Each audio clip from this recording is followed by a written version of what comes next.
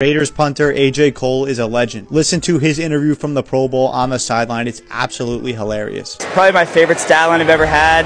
Got zero punts, three holds, two halftime hot dogs.